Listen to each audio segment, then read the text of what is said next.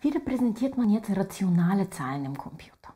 Wir haben bis jetzt gelernt, wie man ganzzahlige Zahlen repräsentiert, wie man auch negative Zahlen repräsentiert. Alles, was uns bleibt, sind die rationalen Zahlen, also diejenigen mit einem Komma. Eine Möglichkeit wäre, sich zu überlegen, wie viele Stellen möchte man vor dem Komma reservieren und nach dem Komma. Sagen wir mal 4 Bit vor dem Komma, 4 Bit nach dem Komma. Damit wird aber relativ schnell klar, dass man sehr eingeschränkt ist in seinen Möglichkeiten, weil man eben von diesen 4 Bits nicht mehr raus kann. Wenn die Zahl etwas größer ist und überhaupt kein Komma hat oder nur eine Zahl hinter dem, hinter dem Komma, dann kann man sie nicht mehr so gut repräsentieren. Genau das gleiche gilt auch für sehr kleine Zahlen. Also die erste Erfindung, die man sich so vorstellen kann, wäre eine sogenannte Fließkommazahl, wo das Komma eben fließt. Wie funktioniert das? Wenn ich mir eine Zahl angucke, 1, 0, 1, 1, 0, 1, 1, 1 und so weiter, dann kann ich irgendwo entscheiden, wo jetzt mein Komma kommt. Ich könnte das Komma hier setzen, aber ich könnte das Komma auch hier setzen oder ich könnte es auch hier setzen. Das bedeutet, außer der Zahl, die ich eigentlich speichere, brauche ich noch wahrscheinlich eine relativ große Zahl, wo ich speichern kann, an welcher Stelle mein Komma eigentlich ist.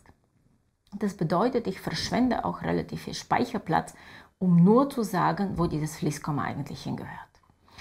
Das ist aber schon sehr gut, denn immerhin können wir auf diese Art und Weise mit der gleichen Anzahl von Bits sehr große Zahlen speichern und auch sehr kleine Zahlen. Noch besser ist allerdings das, was man heutzutage im Computer benutzt. Und das ist ein kleiner Trick aus der Mathematik. Dort kann jede Zahl so dargestellt werden, zum Beispiel die Zahl x, dass sie zuerst ein Vorzeichen er, er, äh, erhält dann eine sogenannte Mantisse und dann eine sogenannte Exponent.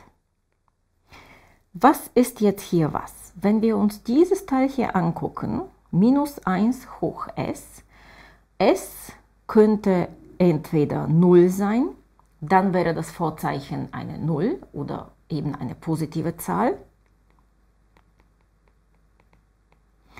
Und wenn s eine 1 ist, dann hätten wir negative Zahlen. Was ist also die Mantisse? Die Mantisse ist ein ganzzahliger Teil der Zahl, wo wir jetzt auch dieses Komma noch reinsetzen müssen. Das passiert hier. Die Basis ist erstmal in binär immer die 2. Und das, was jetzt interessant ist für uns, ist diese Exponente.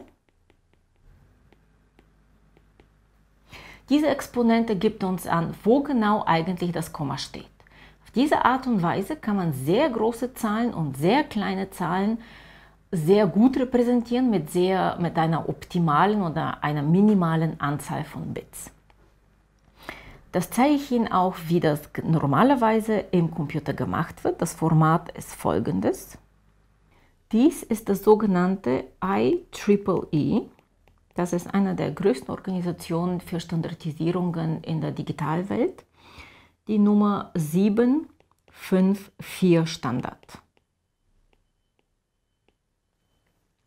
Und hier sehen wir ganz schön, dass man in 32 Bit, die ist genau 32 Bit, von 0 bis 31, von 0 bis 31, man, die, der höchste Bit ist das Vorzeichen